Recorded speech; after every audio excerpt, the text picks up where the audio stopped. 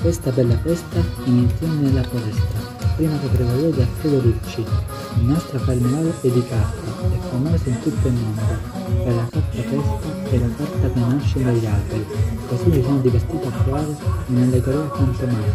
Sì, sì, ma immaginando una foresta fantastica che si anima per creare la carta che si trasforma in giornali, che a loro vita si trasforma in colore.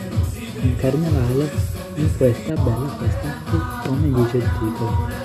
Ecco per questo accade al contrario di quello che si fa di solito, cioè di creare una facile lettura del soggetto, il mio impegno è stato ho voluto creare una grande confusione, ho voluto che il primo impatto fosse quello di un grande caos.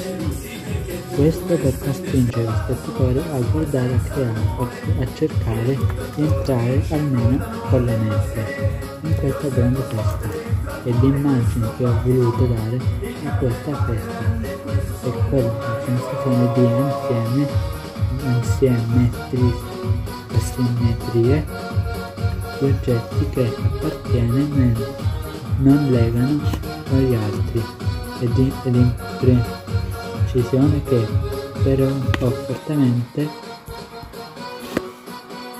voluto e cercato. C'è un motivo per tutto questo. Infatti il titolo dice che questa bella festa iniziò nella foresta, iniziò a cui mi riferisco a quello del nostro carnevale, del nostro carnevale, nato dagli alberi perché la festa che adoperiamo da lì nasce.